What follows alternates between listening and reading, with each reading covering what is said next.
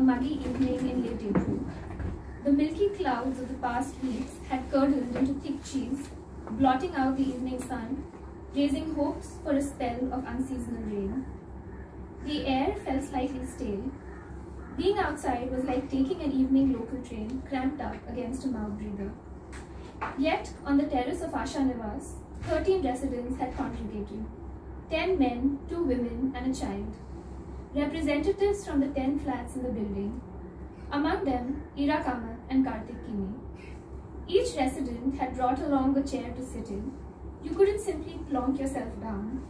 The terrace was not what it used to be. The floor was missing several dozen tiles, and the ones that remained were cracked or chipped. The whole building had an air of disrepair, but it was the terrace that bore the brunt of the landlord's neglect. Many of the men had come to the meeting wearing lungis, some also donned undershirts with sweat towels on the shoulder. The neighbors had known each other for 20, 30, 40 years. There was no need for nicety.